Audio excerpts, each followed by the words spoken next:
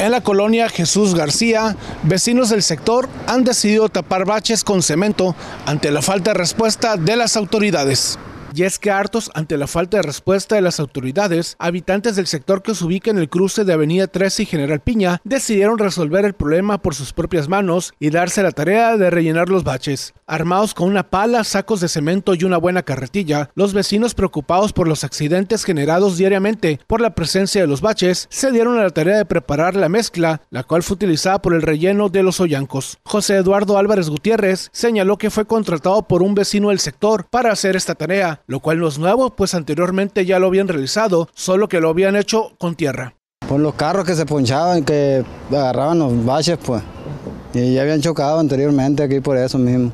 Dijo que ya han presentado diversas quejas ante las autoridades correspondientes y no se ha recibido una respuesta positiva.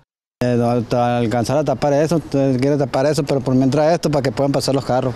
Germán Contreras, Mega Noticias.